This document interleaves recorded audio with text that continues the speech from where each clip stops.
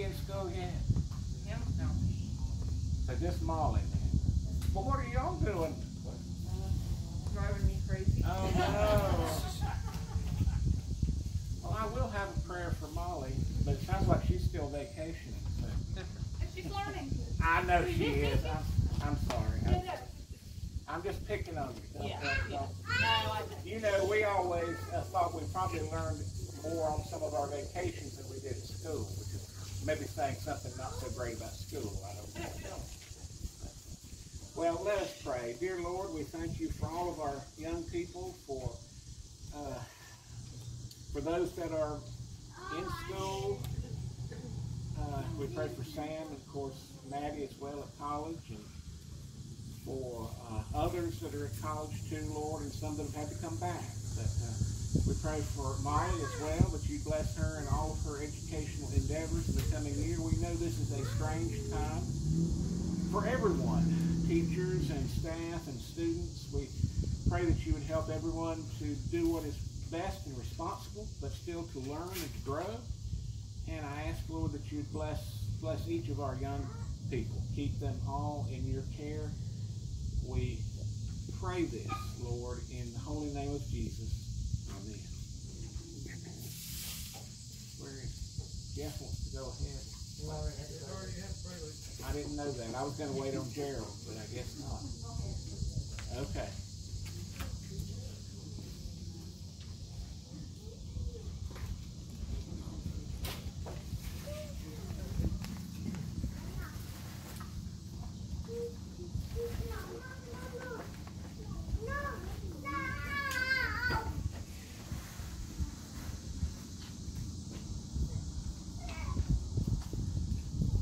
I need a bullet.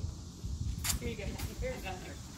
I brought one, but I don't seem to have it in my stuff. Um, I did have one other thing I needed to do before we, we continue on with our worship. Um, and I'm sorry, that shows how much attention I'm paying to the keyboard that I didn't know we'd already had our prelude. So I apologize for that. But this is from Glenda, Lynn, and Mike. Dear church family, for the prayers, cards, and remembrances after Freddie's death, thank you. Your attendance at the visitation and funeral service from the many people, and Freddie knew many people, was greatly appreciated. It's been a sad and shocking time for us. Please keep us in your prayers in Christ's name. Glenda, Lynn, and Mike. And we certainly do continue to keep them in our prayers. Um, and I am going to mention too that uh, I noticed Doris Doris Philippi has a birthday this I believe coming Friday. I don't know. I think Doris is still going to be in her 80s, but uh, let's keep Doris in our prayers. And uh, Bradley and Kim won't be, of course, around next week, but they're going to be celebrating a 14th wedding anniversary coming up next week Um, week after. or the week after next. I'm not going to have you stand because for some of you that might be a little bit of a challenge, uh, given our seating situation. But I am going to uh, refer you to the uh, bulletin where it says affirmation of baptism.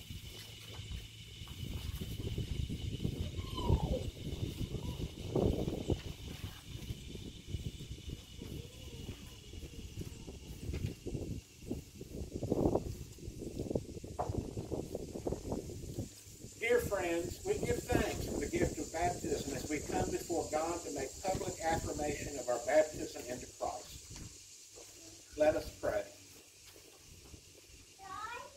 Merciful God, we thank you that you have made us your own by water and the word in baptism. You have called us to nourish, called us to yourself, enlightened us with the gifts of your Spirit, and nourished us in the community of faith.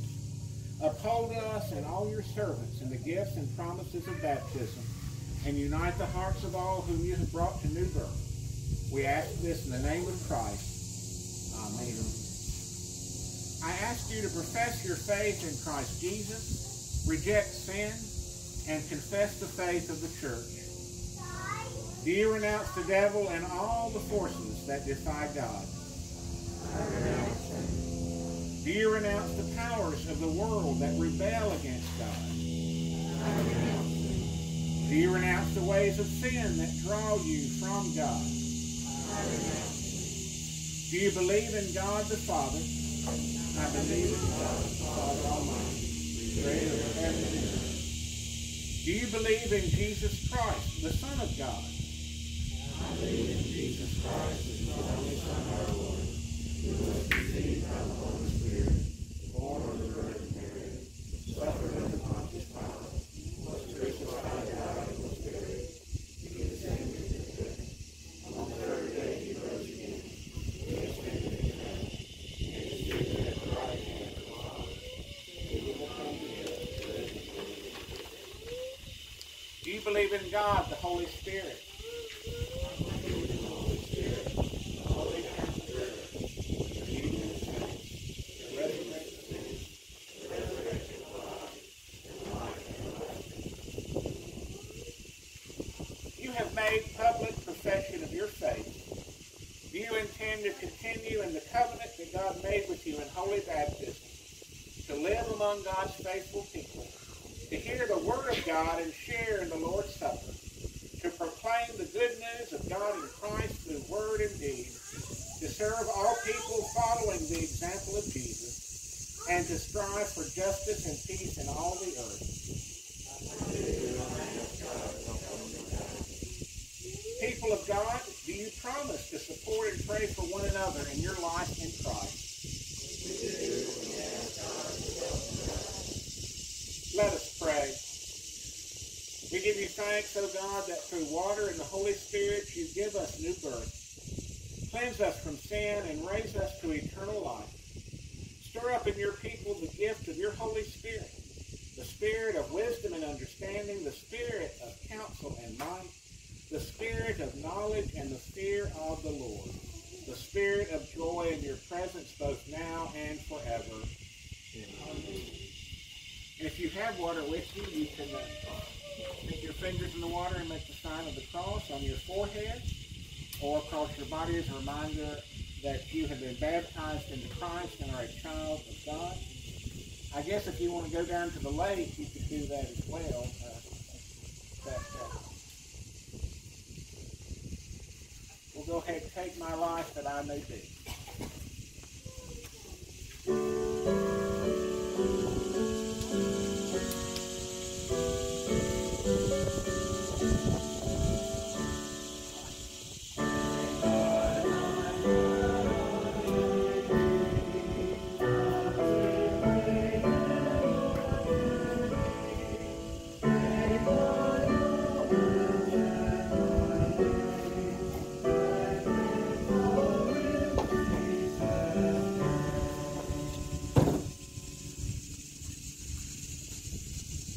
The grace of our Lord Jesus Christ, the love of God, and the communion of the Holy Spirit be with you all. Let us pray. O God, we thank you for your Son who chose the path of suffering for the sake of the world. Humble us by his example, point us to the path of obedience, and give us strength to follow your commands. Through Jesus Christ, our Savior and Lord. Amen. We will now hear God's word.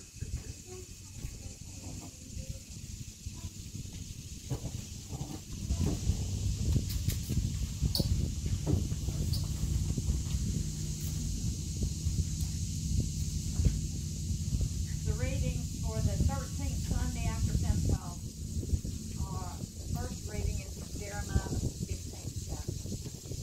O Lord, you know, remember me and visit me, and bring down retribution for me on my persecutors. In your forbearance, do not take me away. Know that on your account I suffer insult. Your words were found, and I ate them. And your words became to me a joy and the delight of my heart. For I am called by your name, O Lord God of hosts. I did not sit in the company of merrymakers, nor did I rejoice. Under the weight of your hand I sat alone, for you had filled me with indignation. Why is my pain unceasing, my wound un- incurable, refusing to be healed? Truly, you are to me like a deceitful brook, like waters that fail. Therefore, thus says the Lord, if you turn back, I will take you back, and you shall stand before me. If you utter what is precious and not what is worthless, you shall serve as my mouth. It is they who will turn to you, not you who will turn to them. And I will make you to this people a fortified wall of bronze. They will fight against you, but they shall not prevail over you. For I am with you to save you and deliver you, says the Lord. I will deliver you out of the hand of the wicked and redeem you from the grasp of the ruthless. The word of the Lord. Join me in reading responsibly the first eight verses of Psalm 26. Give judgment for me, O Lord, for I have lived with integrity. I have trusted in the Lord and have not faltered.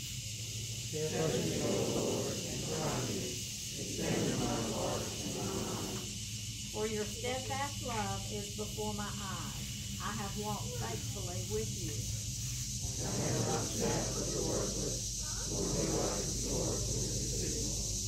I have hated the company of evildoers. I will not sit down with the wicked.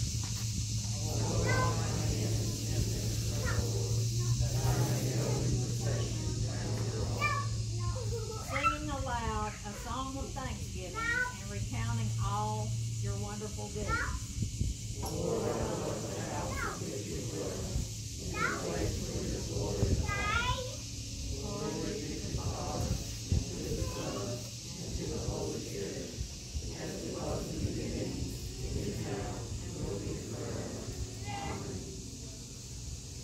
The second reading is from the twelfth chapter of Romans. Let love be genuine. Hate what is evil.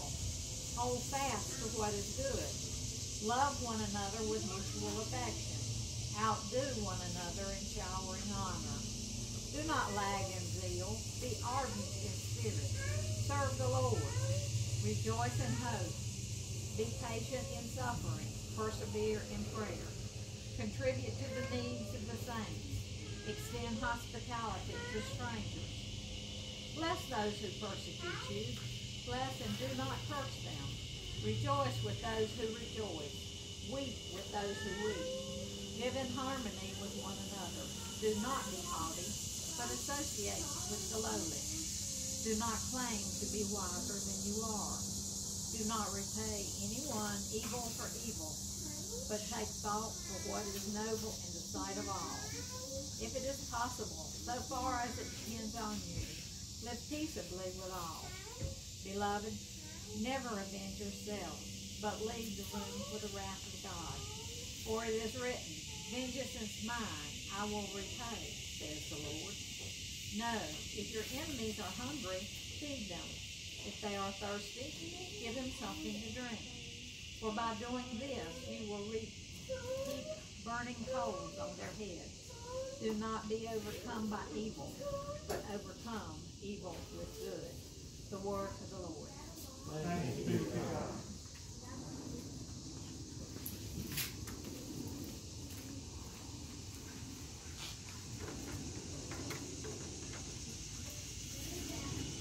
The Holy Gospel according to St. Matthew, the 16th chapter. From that time on, after Peter had confessed that Jesus was the Messiah, Jesus began to show his disciples that he must go to Jerusalem and undergo great suffering at the hands of the elders and chief priests and scribes, and be killed, and on the third day be raised. And Peter took him aside and began to rebuke him, saying, God forbid it, Lord. This must never happen to you.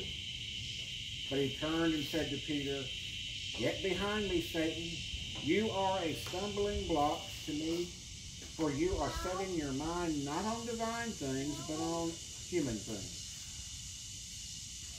Then Jesus told his disciples, If anyone wants to become my followers, let them deny themselves, take up their cross, and follow me.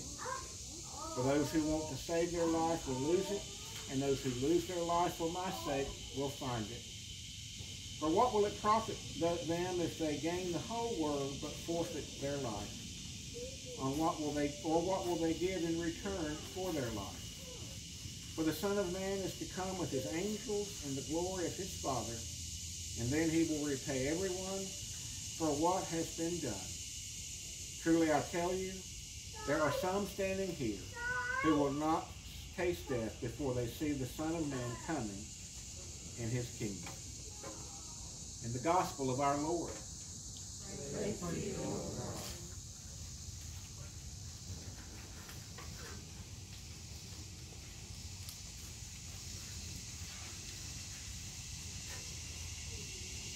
In reading through our passage from the 12th chapter of St. Paul's letter to the Romans, I, some reason, focused on that whole theme of revenge and vengeance and came across some revenge humor. Some little sayings. I don't know that they're saying, they're certainly not biblical sayings, but uh, things I came across. Don't go to bed angry. Stay up and plot your revenge. Revenge is beneath me. However, accidents will happen. I wouldn't call it revenge. Returning the favor is more like it. And then the final one is the best revenge is to look good. I know in our own society, you know, revenge and vengeance really is much more ingrained than I maybe I would have thought until I started looking through the lesson uh, for this morning from Romans and reflecting on that. I thought back to uh, Clint Eastwood, and he made a career out of portraying the Avenger, the the man with the gun who renders justice on behalf of others. Um, Eastwood, you know, played this kind of character in many many westerns, but he made this character most popular in that series of movies. There were five of them, the Dirty Harry movies. Some of you may have seen those from the 70s and 80s, and some of you are too young to have probably remembered that, but you may have seen them in reruns. Anyway, Eastwood was not the first choice to play. Dirty Harry Callahan, the San Francisco police inspector, the one who was very quick with his handgun. John Wayne and Frank Sinatra were the first two that were asked about playing this role. And I think about how different it would have been if they had, had done it, but, but you know, it's hard to imagine anyone but Clint Eastwood playing that sometimes violent and ruthless officer. And Eastwood gained his greatest fame as he shot down serial killers and bank robbers and terrorists, among others. And I think for many people, it's powerful, it's exciting, it's even a bit fulfilling in a way, an experience to see the good guy take care of the bad guy who so clearly deserves his fate. And I certainly enjoyed watching those movies too, but I was I was glad to see the bad guys get what they deserved. But even when I first saw these movies, I knew my Bible well enough to know that Dirty Harry was at odds with the Apostle Paul. I recall those words from Romans. Beloved, never avenge yourselves, but leave room for the wrath of God. Of course, the idea that vengeance is in God's hands, not ours. But that idea of vengeance, not do to others whatever you would have them do to you, but do unto others as they have done to you and more, I think that's an American tradition in many ways. I, you, you look back in our history, you look at the very famous Hatfield and McCoy feud in West Virginia and Kentucky, the Appalachians in the late 1800s and early 1900s. And they were not the only ones engaged in this sort of family feud, not the game show, but much deadlier. And overall, these different family feuds took hundreds of lives. The most famous was the Hatfields and McCoys, but there were there were many others. And around 100 people I mentioned died in these feuds, and they were set off by any number of factors. There were political issues, There were leftover grudges from the Civil War. Again, that whole area was very divided between Union and Confederate. There were issues over the theft of livestock. There were issues sometimes with the killing of a dog. That set some of them off. Property rights. And so on. The feuds usually began in a very small way, but then they would steadily escalate. And there was one feud, not as famous as the Hatfields and McCoys, it was called the French Eversole feud. It probably took maybe as many as 74 lives. And it reputedly began with a disagreement over a woman. And then it escalated to something that was called the Battle of Hazard, Kentucky, November 8, 1889. And, you know, this wasn't just something that happened in West Virginia and Kentucky and the Appalachian Mountains. It was in Texas and the High Plains and, of course, the wars between the different gangsters in urban America. And, of course, it, it goes on in many ways to this day.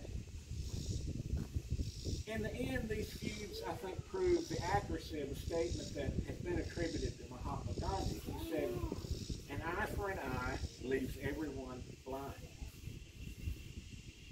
Early on in the scriptures, well before St. Paul, we discover the vengeance, either taking it upon ourselves to avenge a wrong, whether it's a real wrong or a perceived wrong.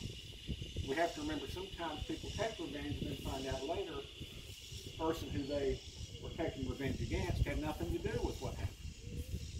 But anyway, we find out that this sort of thing is not God's will for us.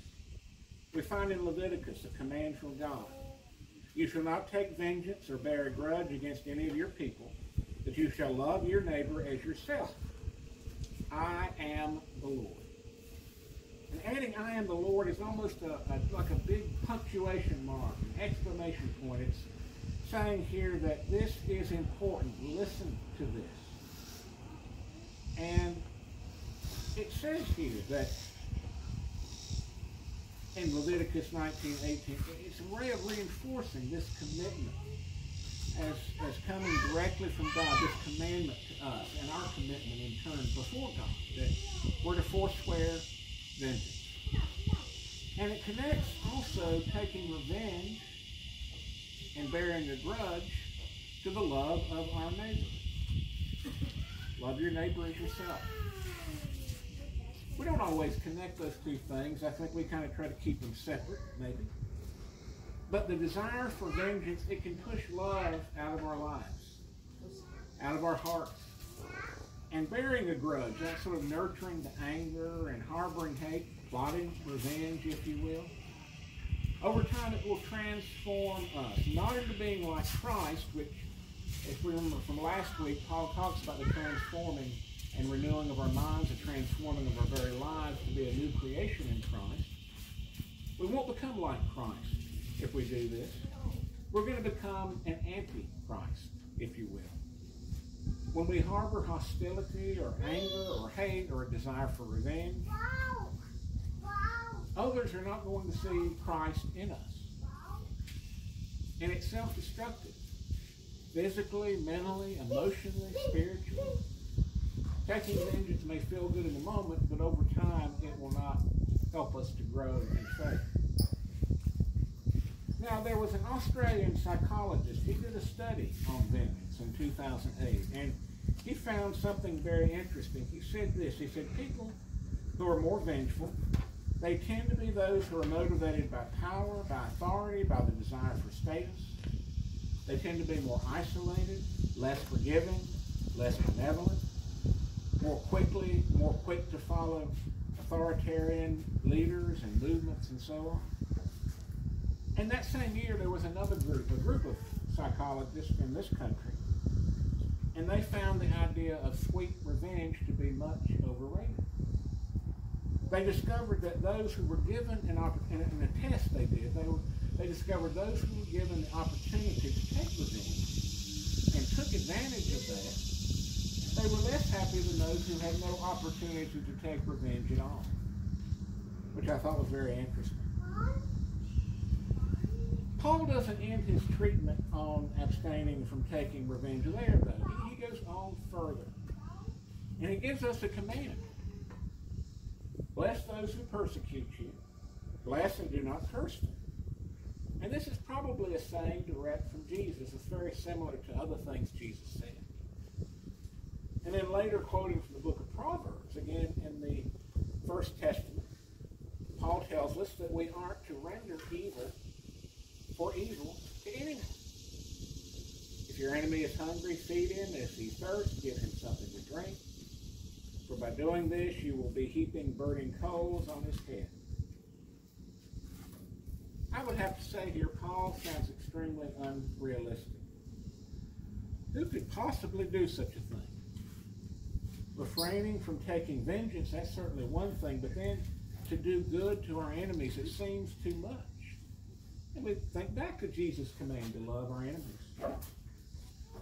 And what Paul is calling for here, though, we need to remember, it's not for being a doormat, not for doing something to make us feel better or superior, as in, see, you've done something bad to me, I'm better than that. I'll kill you with kindness. One example of the effectiveness of showing kindness, or at least a good deed or a good turn towards someone, I heard this from a retired American general who was a veteran of Afghan of the Afghanistan and Iraq wars, and he said that cigarettes and a beer provide better results when interrogating a terrorism suspect than waterboarding. And that made an impression on me because I thought it was a good, good uh, illustration of what Paul was saying here. Sometimes doing something good for the one we see as our enemy will bring about better results. But there is a higher purpose, of course, for Paul's command rather than just simply getting something we want. Something out of a prisoner we're interrogating or something from an enemy that we want to shame, perhaps. Martin Luther said that the Apostle Paul was telling us that we are to seek the transformation of our enemy, change of heart and mind of our enemy for their own good. He who is converted by love is completely burned up against himself.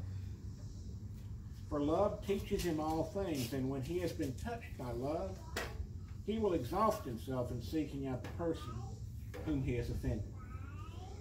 In other words, the acts of kindness toward an enemy aren't to demonstrate our moral superiority, but to bring them to repentance. And again, we need to remember that repentance is not simply saying, I'm sorry, but it's a change It's a turning in our life, making a U-turn, if you will, from sin to being Christ-like, from death to life.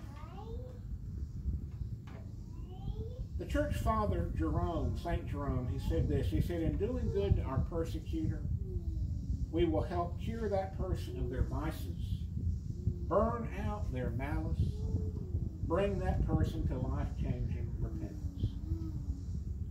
Now, while harboring that desire for revenge can cause us to burn inside, doing good to the one who has harmed us causes malice and evil in the other to be burned up and hopefully brings them to Christ. What Paul's teaching is certainly difficult, and he does talk about how we are to live peaceably as far as it's possible within ourselves with others. You know, sometimes there are some people who will not will not change. And in that case, I think we have to just say we've done what we can and walk away. But for the most part, Paul says, do good to others who have done evil to you. Just try it and see what happens, maybe we could say.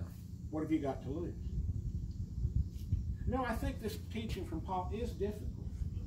And maybe there is a little bit of a loophole there about, you know, living peaceably with others as much as it's in our power to do so. But that doesn't mean this is not a very serious teaching. It's something that comes straight from Jesus. It isn't an option. It's not something we can just sort of you know, check off which three of these four do we think we can handle. It's all of the above. It's just part of being a disciple of our Lord. We can't do it without the empowerment of God and the power of the Holy Spirit working within us. And we remember earlier that power that we have in our baptism when the Holy Spirit came into our lives at baptism. We have that we have the Holy Spirit to empower us to do these things that just seem impossible to do. And if we follow this teaching of Jesus and his servant Paul, Paul tells us that we aid in the transformation of others, maybe whether we know it or not. We may not see it ourselves. It may come later. But whatever the case, we can aid in their transformation. But maybe just as important, we aid in our own transformation, our own change. We, we make a difference for eternity.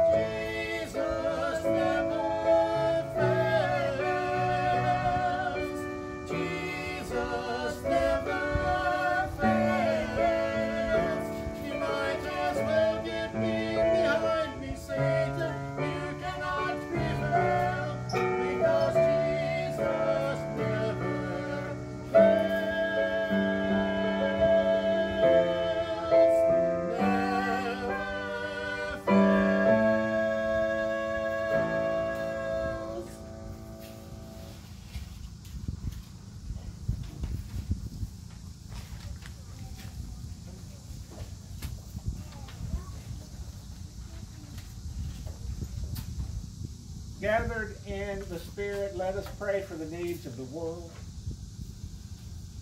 Caring for the church around the world, we pray for a spirit of cooperation among Christian communities of every type and denomination. For the health of congregations during this difficult time when so many are separated. For missionaries and others who share the life-giving gospel of new life in Christ. For our bishops and pastors, deacons, and leaders.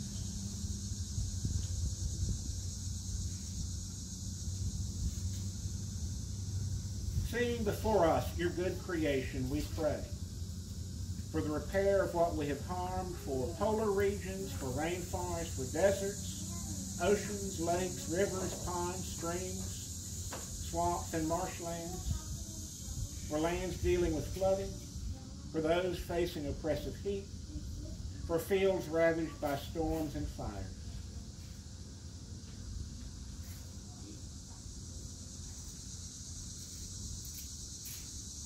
Facing so many international problems, we pray for the strengthening of democracies, for peaceful resolutions to conflict, for the people of Belarus, Lebanon, Yemen, and many nations, for researchers seeking a vaccine, for racial and economic justice within our nation, and for all the world, for our legislators to assist the lives of the poor, the oppressed, the homeless, unemployed, and for an ethical election campaign.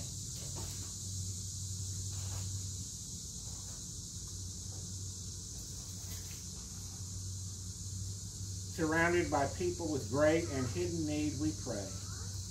For families frightened by the uncertain future. For small business owners and their employees. For those whose homes have burned down or been damaged by storms and earthquakes for those recovering in the wake of Hurricane Laura and those dealing with wildfires in California and Colorado, for students deprived of an effective education, for refugees and prisoners,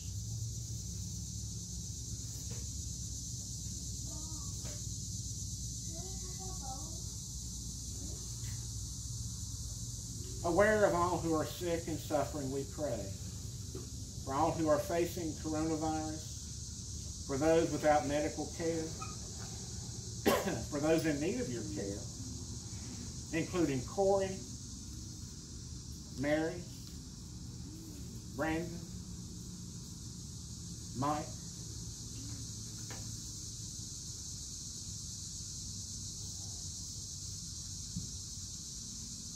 and for others we name before you loud, silently or aloud.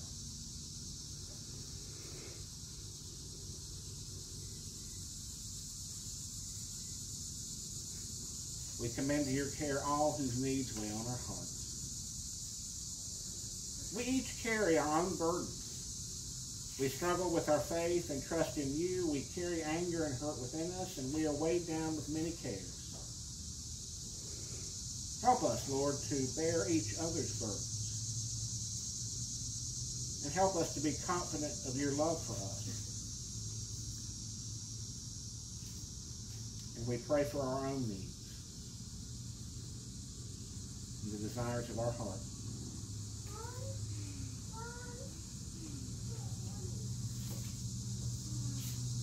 Mindful of all who have gone before us in the faith, we offer our thanks for all the saints, famous and forgotten, for medical workers who have died of the virus, for friends and family we have loved, for the promise of everlasting life with you.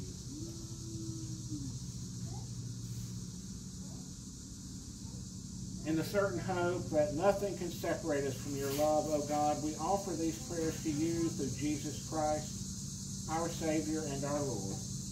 Amen.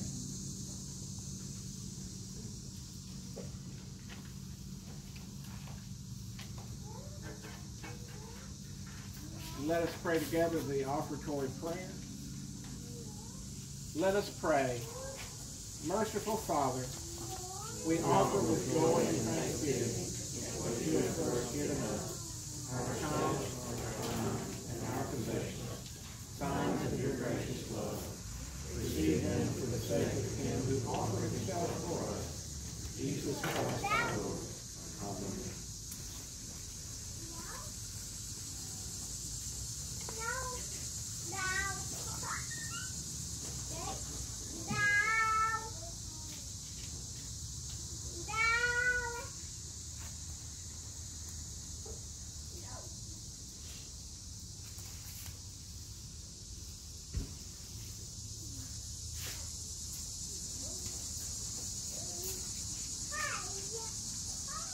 the night in which he was betrayed, our Lord Jesus took bread and gave thanks. He broke it and gave it to his disciples, saying, Take and eat.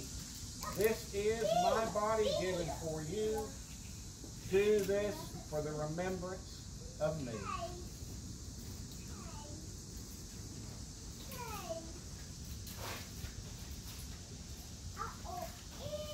Again, after supper, he took the cup and he blessed it. He gave it for all to drink, saying, This cup is the new covenant in my blood, shed for you and for all people for the forgiveness of sins. Do this for the remembrance of me. And now, as our Savior Christ has taught us, we are bold to pray. Our Father, who art in heaven, hallowed be thy name. Thy kingdom come, thy will be done, on earth as it is in heaven. Give us this day our daily bread, and forgive us our trespasses, as we forgive those who trespass against us. And lead us not into temptation, but deliver us from evil. For thine is the kingdom, the power, and the glory, forever and ever. Amen. Now this time, we uh, encourage you to use the uh, packet, the communion packet. May the body of Christ given for you the blood of Christ is shed for you.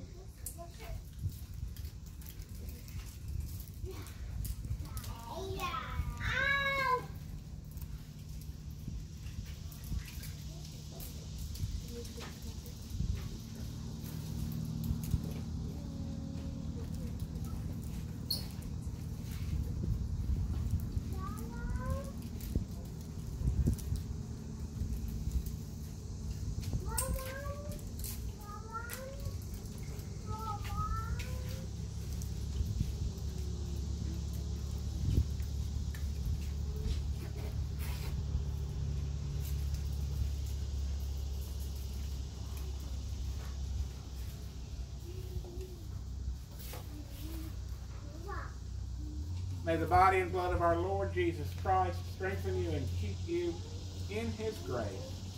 Amen. Let us pray.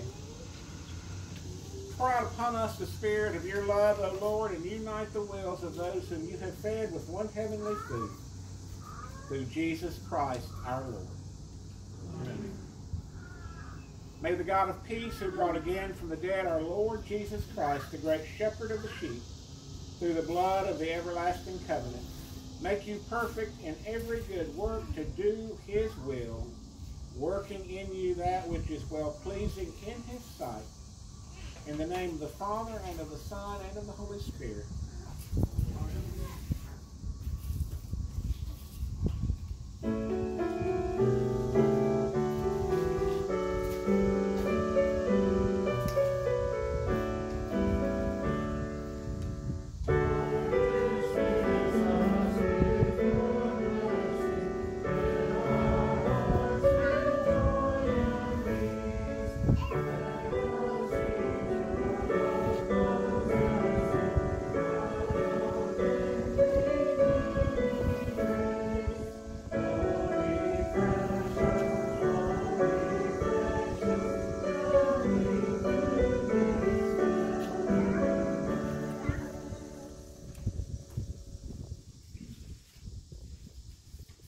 Peace to love